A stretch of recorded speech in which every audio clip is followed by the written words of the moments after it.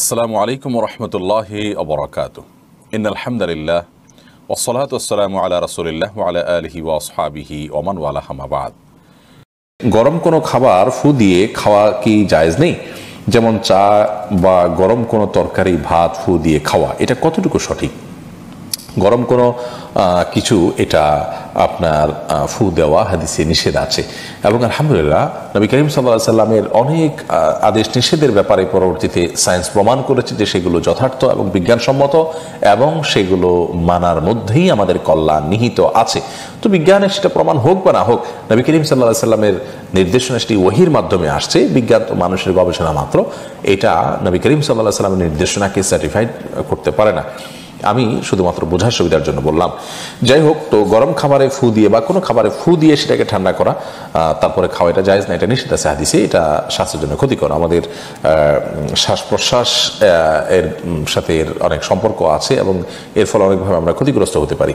তো এই জন্য ফু দেওয়া নিষেধ। আমরা গরম করার জন্য কোনো কিছু দিয়ে বাতাস করতে পারি অথবা অপেক্ষা করতে পারি, তারপর আমরা খাব। আর গরম খাওয়াও একবারে খুব বেশি গরম খাবার গ্রহণ করতে হাদিসে নিষেধাজ্ঞা আছে। চা, তরকারি বা ভাত, যেটাই হোক, এটাতে ফু দেবো না আমরা, হয় অপেক্ষা করব, আর নাহলে অন্য কিছু দিয়ে বাতাস করব। তানজিলা সুলতান আপনি লিখেছেন, আকিকা দেওয়া কি বাধ্যতামূলক? আকিকার বিধান কি ওয়াজিব নাকি সুন্না এটা নিয়ে এখতলাফ আছে, তবে বিশুদ্ধ মত অনুযায়ী আকিকা দেওয়া সুন্না, এটা ওয়াজিব নয়। সাধ্য থাকলে দিবেন কেউ, না দিলে এর জন্য গুণাগার হবেন না। স্বপ্নের রাজকন্যা আপনি লিখেছেন অ্যাডি থেকে দুই সাহেবকে একসাথে দেখে অনেক ভালো লাগছে। আলহামদুলিল্লাহ, আপনাদের দুজনকে নেখায়ের দান করুন। আপনাদের আপনাদেরকেও আল্লাহ তালা নেখায়ের দান করুন।